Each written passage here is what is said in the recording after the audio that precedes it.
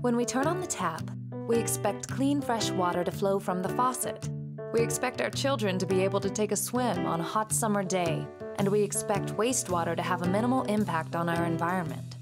So, how does the City of Durham make that happen?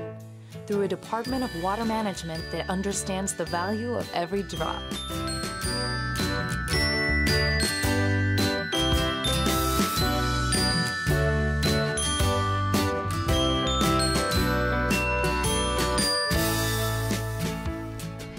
Are three main areas Durham Water Management focuses on, quantity, quality, and delivery.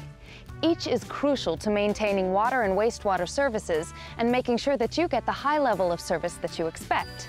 Managing these three areas requires looking ahead over the next 30 years and beyond to see how we can be most efficient and invest wisely. It all starts out here, at the lakes that provide us with the quantity of water needed for our fast-growing community. Durham draws water from both Lake Michie and here at Little River Lake, which are both part of the Upper Neuse watershed. These two lakes provide our city and surrounding areas with 34 million gallons of water per day, which is above our current daily average usage. But as our city continues to grow and develop, our water needs will only increase. To further ensure quantity, we have invested in water supplies from Jordan Lake and Teer Quarry so that even in years of drought, we can continue to serve our customers and make sure that emergency services, such as fire suppression, will not be compromised. Our ability to access water from multiple sources gives us flexibility during water shortages. It takes a lot of planning and cooperation with neighboring communities to maintain these water sources, but we know that ultimately that is the greatest value to you.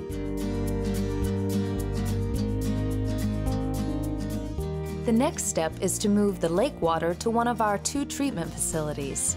Here we make sure that the quality of water that you receive is free of impurities and ready for any use.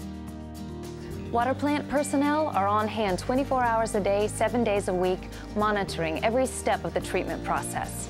Staff collects and analyzes samples to make sure that any drinking water leaving these facilities meets or surpasses all federal and state standards.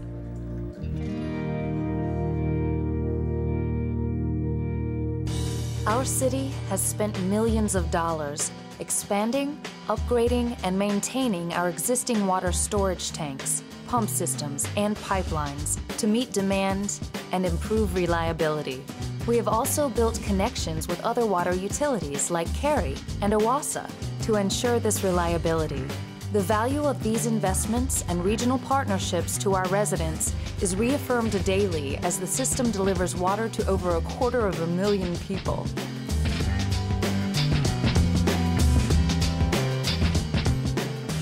Water management isn't just about having a cool glass of water to drink.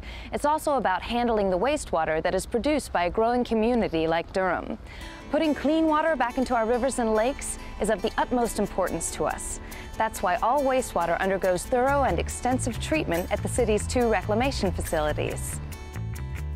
Our wastewater is returned based on the topography of our city, the Cape Fear River Basin in the south and the Neuse River Basin in the north. The pipes that move wastewater to and from our reclamation facilities form a complex system, and maintaining and upgrading this system is one of our larger annual costs. One of Durham's highest priorities is maintaining all of this water and sewer infrastructure so that we have a system that lasts, not just for the next 10 years, but for the next 60 years or even longer.